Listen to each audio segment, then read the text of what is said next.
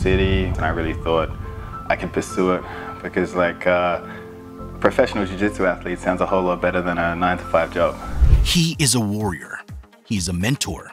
He's an IBJJF world champion. And some call him a clown. Yeah, you heard that right. Craig Jones is one of the top grapplers in the world, and yet he's also known to be quite intimidating. He picks on everyone, especially those he loves. But do not get on his bad side.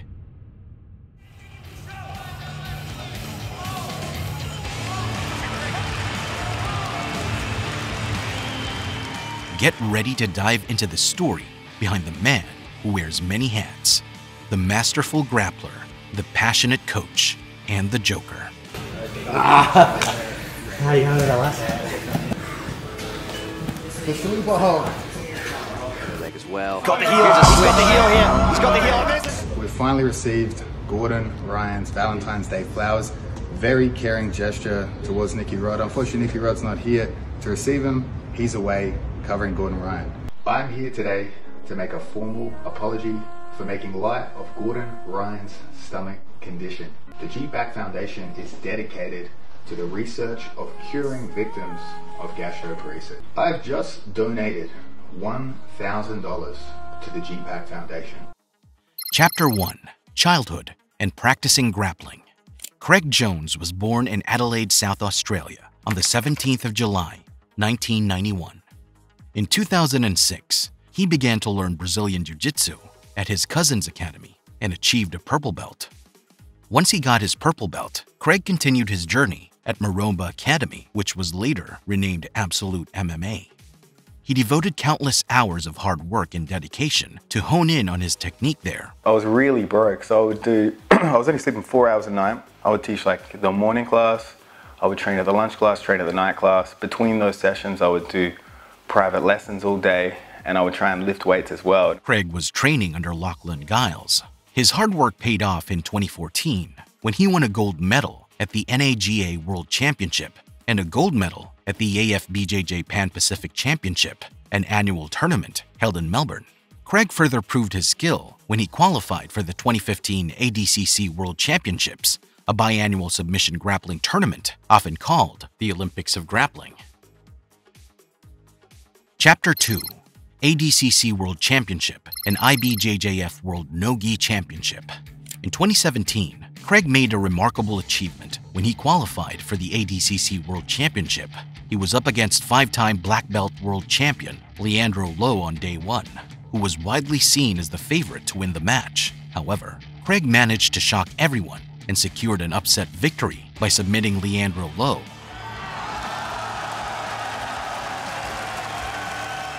This same day, he followed with another win against Murilo Santana, securing another surprise win. He also defeated Chael Sonnen before losing to Keenan Cornelius in the semifinals and then Alexander Ribeiro in the third place match. Finally, the Craig Jones name was getting popular. In 2019, Craig Jones was triumphant in winning the silver medal at the ADCC Submission Fighting Championship.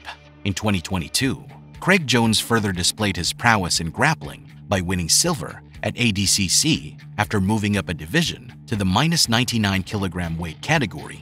During the semifinals, he beat three-time world champion Nicholas Meregali.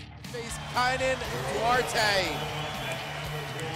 So B team two for two in semifinals matches.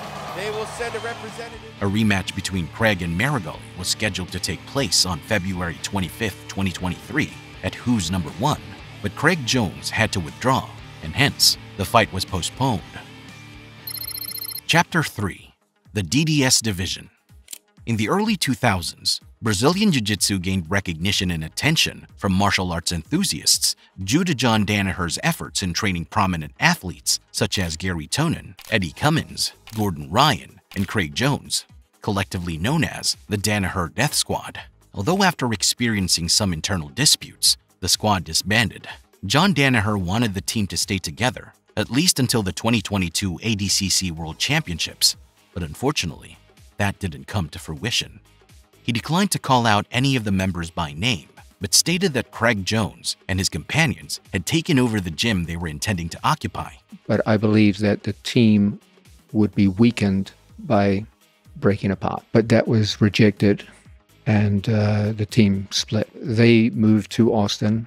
Uh, we'd made prior arrangements to go to uh, a local gym, and uh, they took that gym, and uh, we were left uh, with no gym and more or less homeless in in Austin. Danaher suggested that some participants from his squad had departed because they were not ready to put in the effort he expected. Without naming Craig Jones explicitly, he hints at someone being incredibly good, yet not quite reaching the levels of excellence, a scenario which appears to be linked to Craig's habit of self-depreciation and his second place in everything moniker. Chapter 4 B-Team Jiu-Jitsu and the 2022 ADCC World Championships. The dissolution of Danaher Death Squad resulted in two teams forming, New Wave Jiu-Jitsu and B-Team Jiu-Jitsu. Nicky Ryan, Ethan Crelinsten, Craig Jones, and Nicky Rod formed B-Team Jiu-Jitsu and opened their school in Austin, Texas. When it opened its doors in late 2021, B-Team received an overwhelming response from many of the top grapplers around the world who flocked to train with them. They also competed in the ADCC as B-Team rather than DDS. Craig Jones reviews his second place finish in the World Championship. Udagatami, I believe it was, I couldn't see it from this angle. I was watching live on the mat, I believe. Accepting that he was too overwhelmed with emotion during his semifinal victory against Nicholas Meregali. It was, I was grappling with pure emotion there, so I was too aggressive, really fatigued myself, so I had a few opening attacks. That brought him to fail to secure a win against Kaynan Duarte. I remember he hugged me before the match. I was like, I've made a mistake doing minus 99 kilos, but I just, I couldn't move, just couldn't do anything to the guy. Chapter 5 Coaching UFC Superstars. Craig Jones has been working with some of the top notch fighters in UFC, including Alexander Volkanovski and Israel Adesanya. Recently, he was seen cornering Volkanovski in his fight against Islam Makhachev. Craig is dedicated to helping these world class fighters hone their grappling skills so they can perform at the highest level in their upcoming fights. His training techniques cover a range of disciplines, from jiu-jitsu to wrestling. Through his expertise, Craig is able to support these fighters, not only with physical conditioning, but through advice on technique as well. Craig Jones has undeniably established himself as one of the world's top grapplers. Despite his successes, he has been criticized for his bullying tactics, particularly toward Gordon Ryan and John Danaher.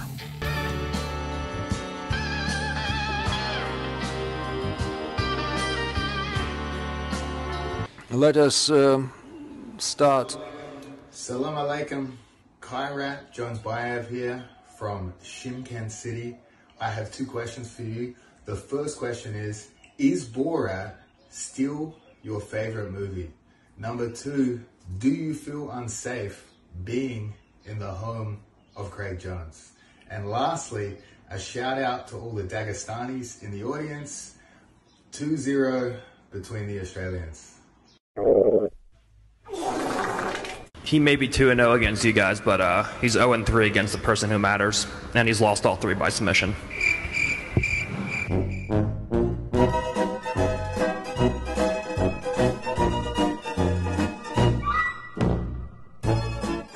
We were left uh, with no gym. No gym. we were going to find ways to win, you know?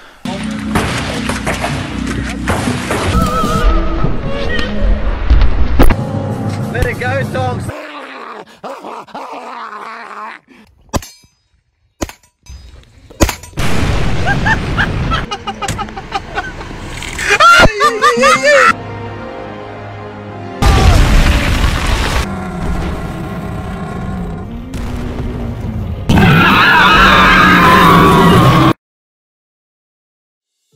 Despite their differences, it's clear that Craig Jones has the skill and experience to back up his words, making him one of the most feared and respected competitors in the martial arts world.